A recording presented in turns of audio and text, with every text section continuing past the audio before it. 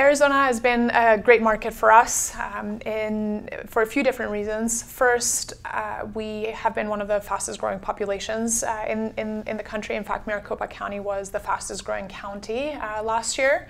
Um, so, with, with greater population comes greater demand for our services, both on the driver and passenger side. Um, another one uh, is our, our, DUI laws. Historically, they've been the most famous in, in, the country for, for being really severe and aggressive. And uh, a lot of people just simply don't want to take the chance anymore. There's been a lot of awareness building uh, in, in that, and, and we've seen tremendous decline in, in reported DUIs. I think uh, the economic impact uh, is something that we're very um, sort of proud of because we're clearly having impact in our communities. Um, the, the secret to success, I think, it's, it's really us being a local player and connecting with our communities in so many ways, uh, whether it's through partnerships with some of the most well-known institutions such as ASU, such as um, you know the the Suns, the City of Phoenix, the State of Arizona, you name it.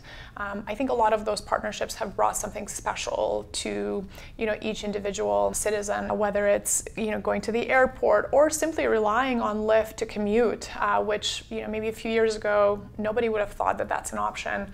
Um, now now it's becoming commonplace. We actually hear stories of uh, families in Arizona deciding not to buy buy that second vehicle, having their first vehicle, and then relying on Lyft as a family uh, to get uh, their transportation needs met. Our business is growing, it's becoming more and more complex. Uh, there are so many ways in which we want to grow our business, again, both on the passenger as well as on the driver side of things. We want to um, you know, be the, the best that we can towards our drivers. Our mission as a company is to improve people's lives through the world's best transportation, and that mission um, really speaks to me. Um, I, I want to be part of a, of a revolution. We're very much a core, um, you know, core values-driven company, and those certainly uh, drive me, but also the team around me. And I think uh, another reason why we've been so successful here, I think all of our team members see the impact that we're having in the community and the opportunities for expansion, which translate into opportunities for them for growth, uh, is what keeps it really exciting for everyone and for me as well. Community grants, it's ultimately um, a grant that we award to uh, a nonprofit every single month. Uh, we launched it in February.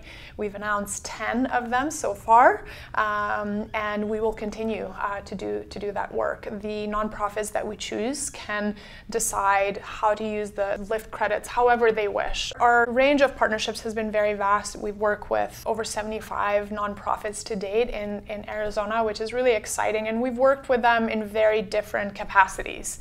Um, so um, whether it's uh, we've helped them, you know, raise money uh, through our platform, we've uh, provided uh, Lyft credits uh, for their gala to ensure that people, you know, come in, uh, come and leave, you know, safely and, and can rely on on a safe ride while they, you know, focus on having fun. You know, we're enabling um, individuals to maybe take advantage of a service that a nonprofit offers, but previously transportation was something that kept them back, right? uh, or, or um, transportation is now an enabler to them accessing that service. So it's, it's things like that, that that we're really excited about and want to continue to do. Diving into the local side of things has been really powerful because then we can see and feel that impact pretty directly.